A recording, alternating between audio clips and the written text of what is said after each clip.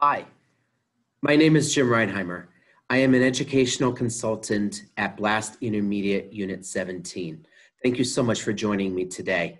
Today's topic is going to be about equity and including some of the different areas, pillars, and just, um, just to give you a little bit of an introduction and background.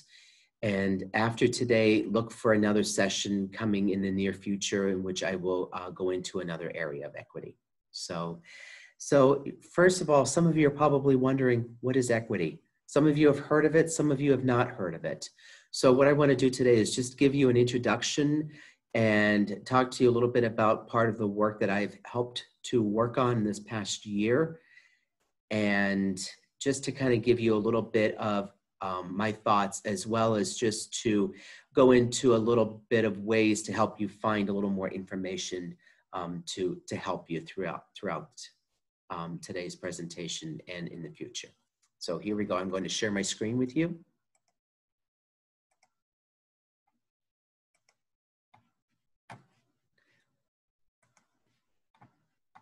So starting from here, thank you for joining me today as I will be introducing the equity sessions. So essential questions, at this point, I really even just have one. And this is even just starting with today, and this can this question can um, lead into the next session as well. What is equity, and how does it play a significant role in today's educational community, including parents, families, and communities? I'd like to show you, and you may have seen this picture before, and if you have not, just take a look and compare both sides of what you see here at a baseball game. So first of all, when you think about what is known as equality, you think about as far as everything is equal for everyone. But when that happens, as you see in the left-hand side picture, not everyone is able to see over the fence. So unfortunately, there are some that are missing out. So when you now look toward the right-hand side, when we have equity here, if you take a look is that we make a way so that everyone can be part of what is going on here, part of this process. So, so now that everyone can see over the baseball field. So taking a look at here, this is just a little comparison between equality versus equity. So we think about equality, we think about what's sameness, sameness for all. When we talk about equity, we start talking about fairness or justice. And another way to put it simple, here's another example here in the picture here, picking apples. So that we know that we're all not the same height, for example. So not all of us will be able to reach apples to pick. But in some ways, what can we do to help get those apples? The quality, as far as equity means, the quality of being fair and impartial. So, what is fair is now what is equitable. Equity will be abstract and ambiguous if it remains to be thought about but not carried out to be a daily practice. So just in that statement, we can think about it. Okay, well, I think you know everyone should you know be able to. We could need to make those. Uh, what can we do to support for all students? But if we think about it, but do not act out, are we really making a difference? Are we really um, going to be um, performing equity? Are we? Is this going to be? Um, is this going to be successful or not? So equity has not been achieved in our educational systems. And as I go into this and you start seeing more resources, it will become um, more, I wouldn't say eye-opening for, for many of you. And now you know it has for me, especially in this last year as I've been hearing more about equity and starting to learn a little bit more about it. So the job of any educational system is not to demand the rise of a community, to the standards of the system, but instead to self-examine, start taking a look as far as maybe self-examine for ourselves. Identify what the gaps exist in the provisions of that institution that inhibit a communities rise. So we start taking a look at it, like we could start taking a look, let's say in each school district. What areas are successful? What areas maybe are, you know, doing okay? And what are some areas that maybe we need to maybe start bringing a little more awareness and maybe start to make some improvements so that all students can be successful. And, and I said down here at the bottom, if you see the link here to these quotes comes from our Pennsylvania Department of Education, which I will be showing you later. So Pennsylvania definition of equity is every student has access to the educational resources and rigor they need at the right moment in their education across race, gender, ethnicity, language, disabilities, sexual orientation, family backgrounds, and or family income. So equity actually will tie into each and all of these areas. So I said equity is a very, um, I want to say at first, and when I heard about it, it's like, it's very abstract to me. There was a lot of different areas we can go into as far as equity. So just today, I'm just beginning to take that first step with you to, to even just skim the surface. So, so now the Pennsylvania Department of Education. So according to PDE, they have also expressed. So in order for students to do their best, they must feel safe at school. And meaning what is to be safe at school? That can include a healthy and safe environment so it can help students thrive. And every student, regardless of race, ethnicity, sexual orientation, gender identity, or expression should be provided the opportunity to learn free from discrimination, fear, or harassment. A little more of an explanation is there on that website as well. So no matter where our students are coming from, they need to feel safe. So in order they will do their best, they need to feel safe. We need to continue to care for our students and to always make those great connections and help make them feel safe. So the Equitable Practices Hub. The purpose is to establish a coherent collection of resources for the educational community they may use in providing intentional equity in their communities. So these resources have been handpicked, reviewed, and they represent best practices, models, and guidance from all of their component parts. They are divided into following pillars or topics, which I will be going through with you. I was lucky and fortunate enough in this last year to serve on one of these hubs, which I got to serve on the family engagement uh, community as like well with the parents hub. So working with um, a few other representatives, consultants from other IUs, we were able to start finding some other resources. And um, my other uh, friend, Jeff Pelly, um, has also um, been a wonderful addition to this process as well, that both of us have been able to continue to work on this team together in the last year. So finding those resources is definitely uh, has been very helpful, and I look forward to continue to share this with you. So getting into the pillars right now. So the first one is what's known as general equity practices. And there's always a question that's involved for each of the six here. How can our educational community consider global equitable practices in our specific context? Number two is self-awareness.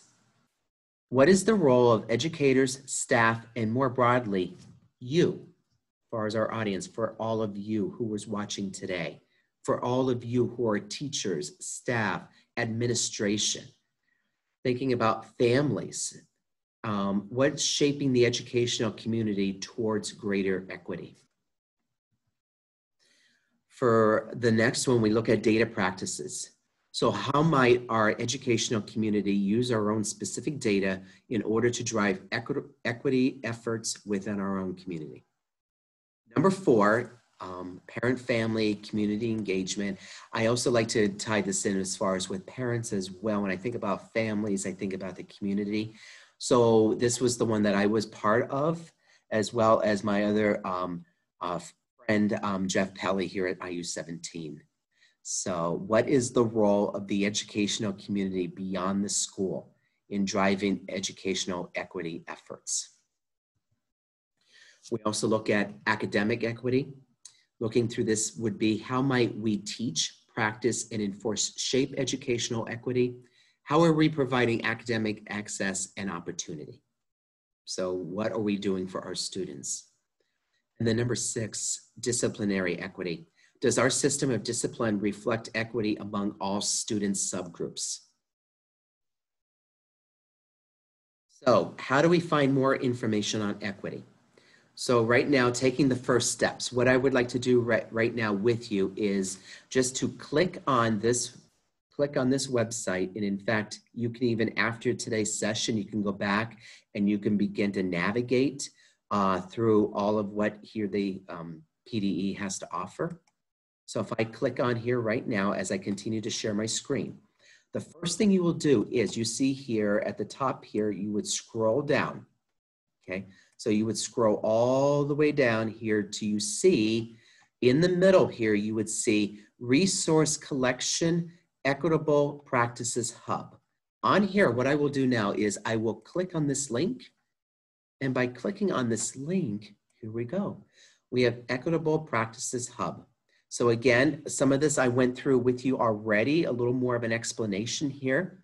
We go into the pillars, which I just went through with you as far as these questions.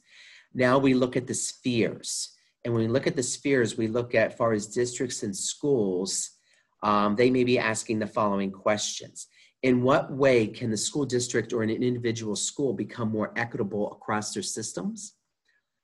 For classrooms, what can teachers do in manners of curriculum, discipline, pedagogy, and classroom culture in order to become better proponents of equity? Individuals, what can an individual be it a teacher, administrator, student service professional, caregivers, students, uh, what can they do to promote equity in their educational community? Before we begin, as far as schools, they may want to take a look here as far as assessing what's known as the Mid-Atlantic Equity Concert, uh, Consortium. And if you just click on here, which, which I'm doing right now, this is what it will look like. And there's like a lot of questions that you can answer, what it would look like, and going through the policies, criterias, questions. So that was just one example right there. I'm gonna get back here. So then once completed by a core district or school team, our next link here is what's is the companion action planning guide. And by clicking on here, it basically will have here as far as the pillars of practice, it will go through where as far as maybe doing an equity audit, looking and seeing what action guides needs assessment, and far as maybe like where we would need to make our immediate focus of priorities. And then maybe looking at next year, identify two to three areas or sections, uh, predict maybe, um, maybe like what you would like to see improved.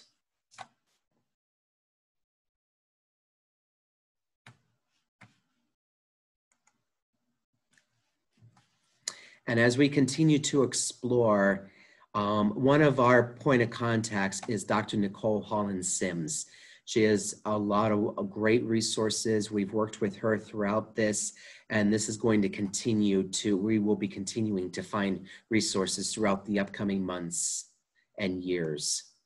So take a look at here. There will be more that will be added. We can go into as I went through here with you with each of the questions. So for my next session, in fact, I want to uh, touch more upon the family community engagement. So for right now, like let's just take a quick look at this one here. So when I when I click on family and community engagement, I can just scroll down and I can see school district, classroom, individual. And then like let's say if I want to click on, oh, you know what? Let's just click on the on the classroom right now. So if I click on classroom, again, I would scroll down and then what we would do here is we start looking at the different standards, which I will be going through with you in our next um, next session. So there's six different standards here that um, our team was working on this past year. And even like through this, and I'll go into more detail where there are a variety of resources that we will use that may be helpful for you. If I click back here again, so this is just touching just upon just the very beginning stages here. So right now I'm going to, I'm going to go back here. And again, I just asked these questions looking at the spheres. So we were going through those six, six of those pillars, and then we look as far as breaking it down. We look at districts and schools, classrooms, individuals, and like breaking it down as far as we think about as far as the family. So parent, family, community engagement. So um, introduction. So under this pillar, so like I start thinking about this, these are some questions maybe we can start thinking about for our next, next session. What is the role of the educational community beyond the school in driving educational equity? That was mentioned, I mentioned to you before. How does this involve the relationships between school, the families, and the community? So how much outreach is there? How much equity are we using with our families?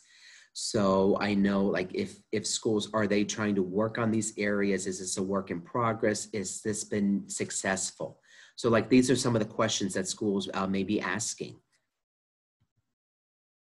So just a couple of final thoughts here.